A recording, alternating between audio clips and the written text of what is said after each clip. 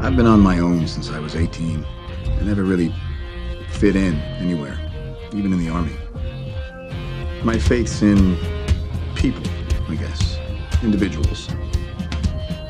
And I'm happy to say that for the most part, they haven't let me down. Assemble.